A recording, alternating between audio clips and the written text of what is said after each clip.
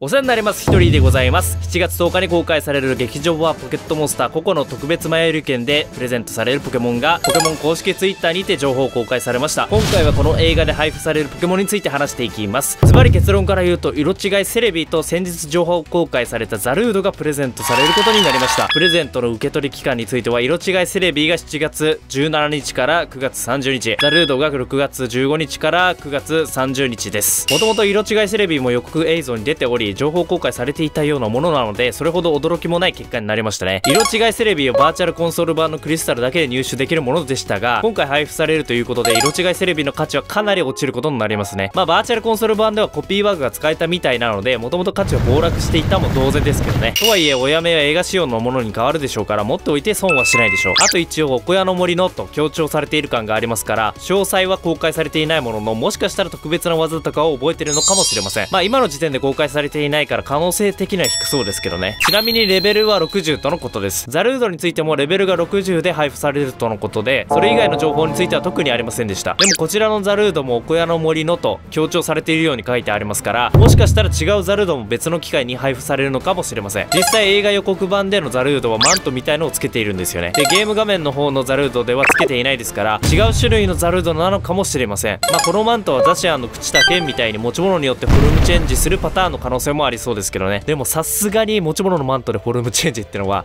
ダサいっすかね。でここからは配布されるポケモンの受け取り方について見ていきましょう。まずは特別マイル券を買わなくてはなりません。料金は一般券1400円ジュニア券800円で販売期間は4月17日から7月9日となっています。普通映画を見るとしたら1800円ぐらいが相場だと思いますので普通に映画を見るだけでも前売り券を購入した方が絶対いいですね。販売場所はセブンイレブンやイトーヨーカドーアマゾンポケモン映画上映館などあらゆる場所で買えます。ただ詳細な販売店舗情報は4月上旬に掲載されるとのことです。そして特別マイル券を手に入れたらシリアルコードが2箇所書いてありそれを入力してセレビとザルドが手に入ります。小さく注意書きで一度使用したシリアルコードは以後使用できませんと書いてあるので当然ではありますが1つのシリアルコードで受け取るのは1回だけということですね。あとは不思議な贈り物で最新版の更新データをダウンロードした上でそのシリアルコードを入力します。なおポケットモンスターソードシールドエキスパンションパスの購入は別に必要なくもちろん Nintendo Switch オンラインへの加入もしなくて大丈夫です。あと注意したいのはポケモンホームや他のポケットモンスターシリーズのソフトでは受け取れないことですね。ということで今回配布されるポケモンについて紹介させていただきましたがザルードはめっちゃランクマポケモン顔なのに使えないのが本当に残念です。あと個人的にはこう思います。ココを配布しろ。